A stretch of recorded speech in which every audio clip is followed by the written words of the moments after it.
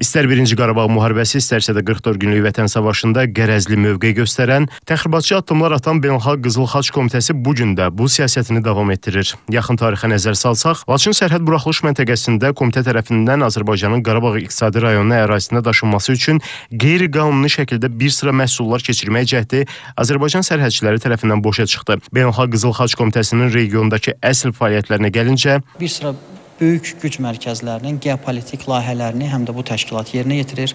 Xüsusilə qərb dairələrinin təlimatlarını icra etməkdədir.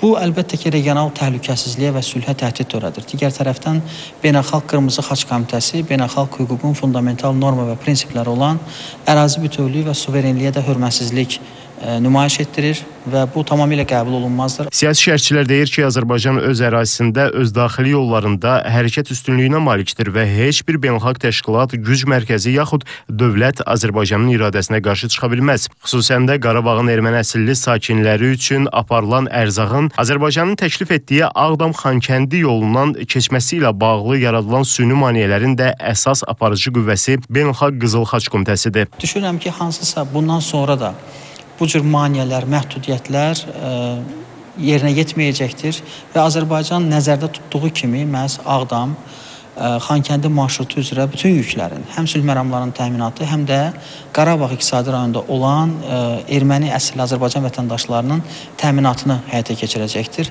Yeri gəlmişkən Beynəlxalq Qızıl Xaç Komitəsi üzdə Azərbaycanın və Rusiyanın Qarabağın erməni əsilli əhalisinə humanitar yüklərin daşınmasını dəstəklədiyini desə də, arxa planda süni şəkildə onu əngəlləyir və Rusiyanın Qızıl Xaç Komitəsinə təzyiqlər göstərir.